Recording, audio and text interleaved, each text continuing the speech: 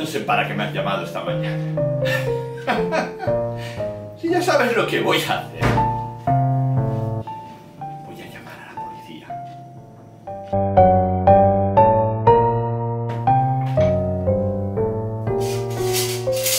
¿Azúcar? Lo que tú quieras. Has cometido, has cometido un delito muy grave.